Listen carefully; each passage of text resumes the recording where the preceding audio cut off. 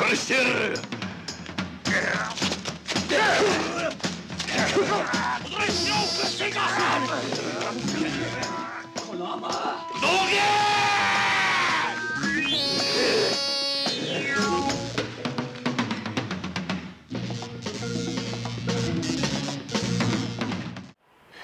僕は初めて見たのはちょっと変な出会い方をしていて、まあ、大学生の頃に、えー、とビデオなんですけどそれもなんかなんか短縮版みたいな今多分かなりレアだと思うんですが見せ場だけドラマ部分をだいぶはしょってなんか短縮版みたいな40分ぐらいにまとめられてる謎のビデオがまあ普通にそれは買ったんですけど それで見たというのが最初ですね、ま、その後にちゃんと、まあ、それもビデオだったんですけどだから学生時代ですね。美しい女性が凶暴なことをするっていうのは非常に好みであったのでなんてかっこいい映画なんだと思ってましたね。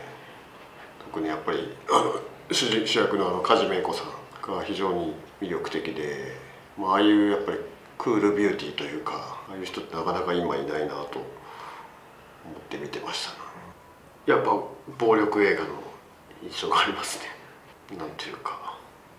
もうちょっと男っぽい感じ男っぽいというかなんていうか印象はありますけど、ね、その梶さんが長谷部監督ならと言ったっていうのはなんか羨ましいですね。その一番理想とする形だなと思いますし。まあとはいえね女優厳しくて嫌われる監督も好きですけど。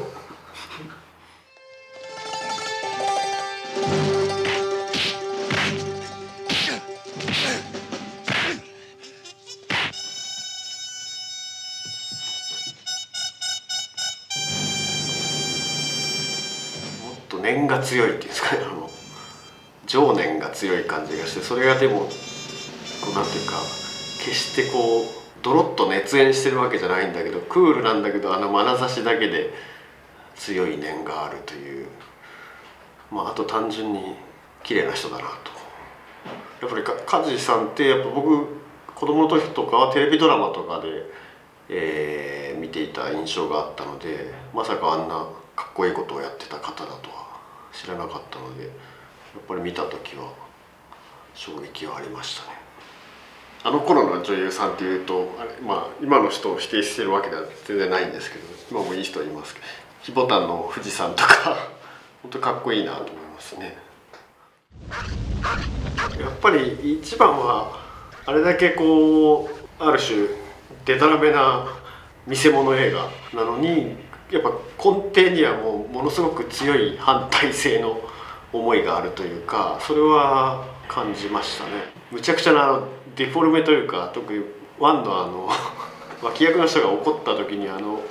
なんかナイフかなんか持って襲いに来る時にあの照明も変わって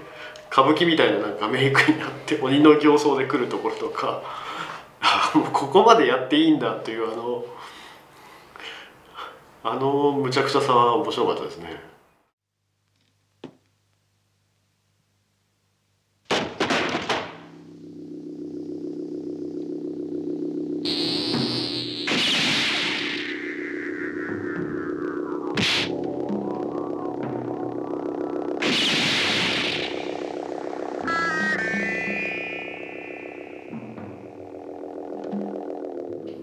あのケレン味と言いますか？なんかね結構やっぱそう思うと今の日本映画って割とみんなリアリズムの方にまあ自分もその気はありますけどまあある種見せ物やってもいいんだなと思いましたけどね。俳優だったらあの大島組の 方々が小松芳生さんとか好きですね。あのなんていうか油切った感じが。エロさもあれこうずるさもあってなかなかいないですよねああいう人。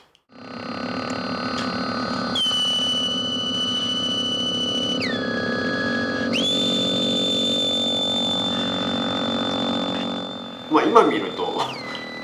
結構チャチかったり笑っちゃったりするんですけど、まあ、過剰すぎて笑えたりはするんですけどでもなんかどっかでやっぱりとにかくお客さんを驚かすっていうのは、まあ、さっきの見せ物精神と一緒ですけどそれってやっぱり映画屋の基本なのかなっていうのは思いましたねなんか。影響はありますね。なんかまあその作品にはよりますけどでもどっかで、まあ、ケレン味という意味ではショックシーンってわけだけじゃなくても見る人をびっくりさせたいなっていうのはやっぱ常に思いますしあと俳優は割とこう僕はやっぱ顔のシワで選ぶというか顔から見えてくるまあもちろんお芝居は大事ですけどもよりに耐えられる人っていうかそういう人はすごく好きですね。一番その多感な時期というか中学生時代がちょうど80年代のスプラッターブームだったのでそれこそサムライミの映画だったりとかロメロのあの資料の餌食だったりとかそういうのを当たり前に見せてその影響はもちろんあると思うんですけどあとそれプラス、まあ、映画の影響ももちろんあるんですけど結構やっぱ実際のその事件の本とかが好きでそこから妄想したところもあるとは思いますあもう中島貞夫監督は僕のあの大学の時の先生でして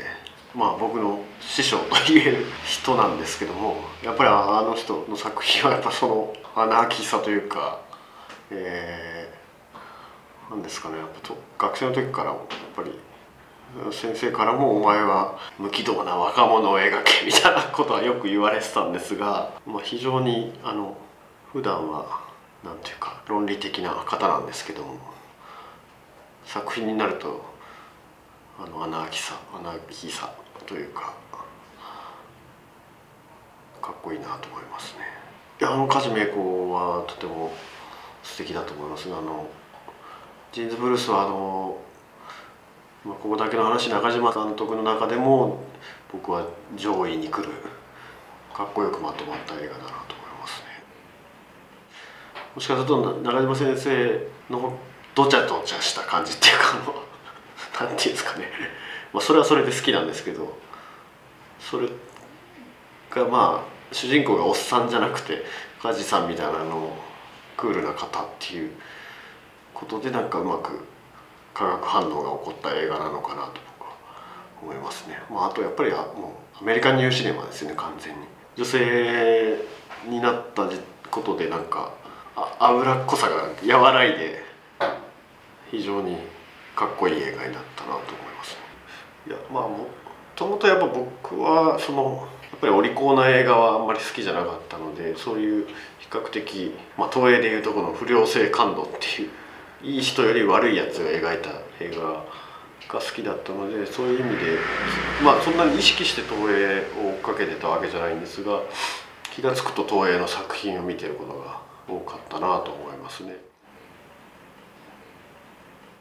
東映で撮れてるっていうほどではないんですけども、まあ、何本か東映と、えー、関係のある作品をやらせてもらっていて非常にやっぱり自分としては嬉しいですね。あの自分の映画のオープニングであの東映の三角マークがつくっていうのはなんか思い返すと嬉しい出来事ですねやっぱり映画ってなんかどまああんまり健全なものじゃなくていいんじゃないかなって気がやっぱりしますから。その、まあ、暗闇でねあの楽しむもんですからどっかでああ大人になってやっと映画が見れるみたいなそういうちょっと悪い遊びをしてるような面白さテレビとかじゃできないような、えー、みんな思ってるけど言えないことを映画で言うとか見たいけどなかなかテレビとかじゃ見れないものを映画で見せるみたいなところが映画の魅力だったなと自分の、まあ、子供の頃とか思い返しても思うのでやっぱりそういうものを自分も作りたいですしまあ東映って割とそういうことをやってた会社なのかなって気はしますね。こう思い浮かぶぐらいこうあのスタイルですよね。あの格好というかあれが全てが完成されてると思うのでまあフィギュアとかあるんですかね。ありそうじゃないですかなんか。フィギュアがあったら欲しいなと思いますね。海外人気あるんですよね女子サソリ、まあ、それがもう驚きとともにああこういうサソリも人気あるんだってもちろん仁義なき戦いとかは知ってるでしょうけどいや他にも実はもっといろいろあったりもしますんで日本映画。ぜひあのもっと探してください。いろいろ見てほしいなと思います。